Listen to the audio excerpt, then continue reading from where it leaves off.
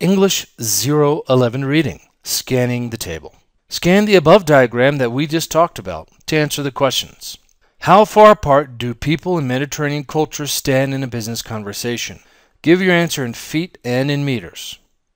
That would be 1.5 to 2 feet, or 0.45 to 0.60 meters. How far apart do people in Turkish culture stand in a business conversation? Give your answer in feet and in meters.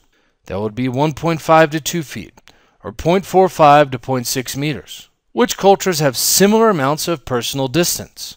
That would be North American and Australian. According to the diagram, which cultures are the most different? That would be Japanese and Turkish. Which culture has the greatest amount of personal distance?